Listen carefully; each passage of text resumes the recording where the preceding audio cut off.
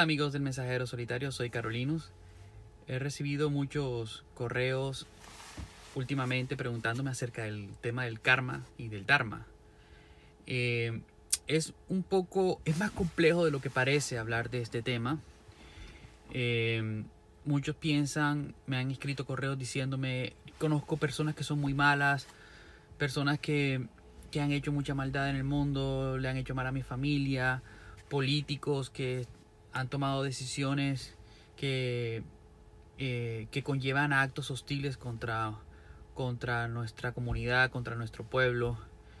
Eh, y están ahí campantes como si nada, no sé absolutamente nada. He notado que muchas personas que son malas personas, que toman decisiones erradas, eh, sobre todo decisiones que conllevan actos hostiles contra otras personas, están ahí campantes como si nada. Y las personas buenas se enferman, eh, les pasan cosas malas sin aparente razón. Muchos dicen que tienen que ver más que todo con el tema del karma y del dharma.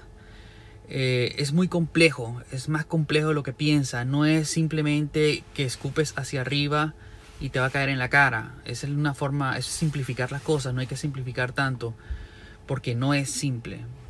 Eh, hay que recordar que nosotros en el mensajero solitario hemos descubierto que no existe un antes ni un después que todo es un eterno presente y que ese eterno presente conlleva a que existan mundos paralelos, mundos de repetición. Los mundos paralelos son aquellos eh, en donde nuestro tetán ubica, ubica, nuestro espíritu, nuestro tetán ubica los diferentes roles de las diferentes vidas.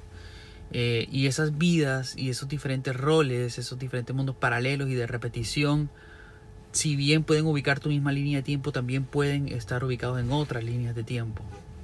Esas otras líneas de tiempo eh, pueden ser siglos anteriores a este, siglos futuros y también pueden estar ubicados en sistemas distintos al sistema planetario de la Tierra.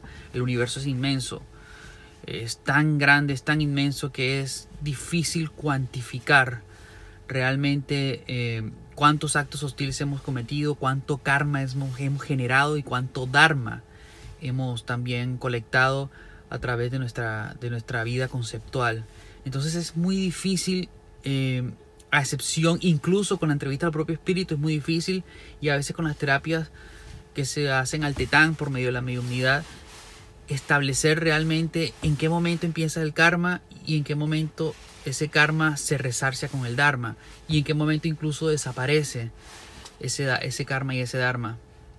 Nosotros por lo general sí hemos descubierto en qué momento en cada caso específico, pero cada caso, cada vida es única e irrepetible y por eso es más complejo de lo que se piensa. No es, como dije anteriormente, escupir hacia arriba y lo que, si escupes hacia arriba te cae. Sí, es cierto, la ley de la física es así, pero eh, a nivel de la física cuántica, a nivel de la, de la parte espiritual es más complejo y mucho más, eh, más difícil de establecer, aunque no imposible.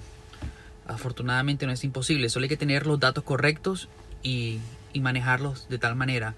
Pero para generalizar un poco, para dar una respuesta a este interrogante que me llegan mucho los correos electrónicos, eh, en el mensajero solitario hemos descubierto que a veces es misión del tetán generar, eh, cometer actos hostiles contra otros porque porque hay que resacir el karma de otros. Es decir, eh, para que el karma te llegue a ti y te purifiques, porque hay que ver el karma no como una culpa a pagar o como una condena a pagar, sino como una lección a aprender.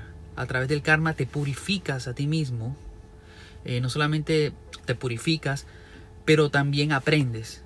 Entonces ese aprendizaje es necesario y a veces en ese engranaje de aprendizaje están conectados otros tetanes, otros espíritus que tienen esa misión de cometer esos actos útiles contra ti o contra las personas que tú amas para purificarte. Suena complicado, suena difícil, pero así funciona esto. Y esto viene de vidas de repetición, viene de, vidas anteriores y vidas futuras.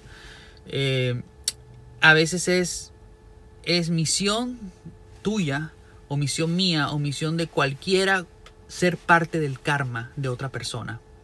Cuando eres parte del, karma de otra persona, ese acto hostil que tú cometes, si eres parte del karma, no te afecta como debería afectarte. Nosotros hemos descubierto que personas que le han hecho mucho daño a la humanidad, aparentemente, como Joseph Stalin, como Adolfo Hitler, están encarnados y no están, eh, no están resarciendo ese aparente acto hostil que cometieron contra una comunidad, contra una raza, contra una contra otras personas, etc. Eh, y es por eso, porque son parte del karma. Cuando personas muy aparentemente malévolas eh, forman parte de ese engranaje del karma, eh, no les llega en esa misma vida e incluso nunca les llegará una condena o una supuesta condena o un supuesto karma proporcional al acto hostil que cometieron. Entonces esa es la razón que hemos descubierto nosotros a través de la mediunidad, eh, a través del mensajero solitario, de, los ejercicios mediúmnicos, cómo funciona el tema del karma y del dharma em, en, en, en, general. Esto es muy general, cada caso es único e irrepetible, cada vida es única y irrepetible y por eso debe tomarse con pinzas cada caso. No podemos aquí, a través de las enseñanzas del mensajero solitario, de pronto escribir un libro adoctrinar algo y tomarlo como una verdad absoluta cuando cada caso es único. No se puede aplicar la ley en general, sobre todo en el tema espiritual, y ese es el gran error que han cometido las religiones. El gran error que cometen las doctrinas de las sectas es que se escribe un libro y que ese libro es la verdad absoluta o la Biblia de todo, cuando desafortunadamente cada caso es único. Ojalá fuera así, esa es la, esa es la forma más fácil de, de crear un movimiento espiritual y de enseñar a la gente y de enviar un mensaje eh, como digo, esto es solamente un, un, mensaje, lo que nosotros descubrimos lo compartimos con ustedes como, como un mensaje, no a través de una doctrina, ni queremos cambiarle la mente a absolutamente nadie.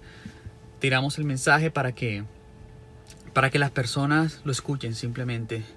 Cuando eres parte del karma, el acto hostil, las consecuencias no son directamente proporcionales al acto hostil que cometiste.